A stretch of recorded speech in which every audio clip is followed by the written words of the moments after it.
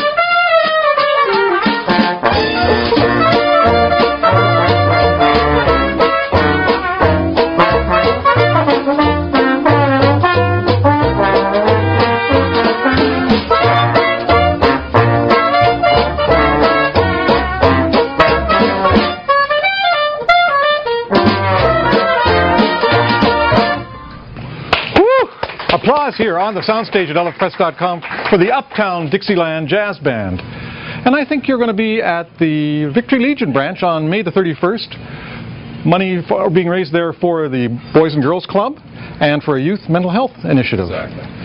And, well, that, for some reason that does remind me, you can get all your arts and entertainment information every Thursday in the Today section of the London Free Press. And, of course, 24-7 here at lfpress.com. For the London Free Press and lfpress.com, this is James Reaney signing off saying good money for good causes, good music. Uptown, thank you for being here. We are all going uptown on May 31st.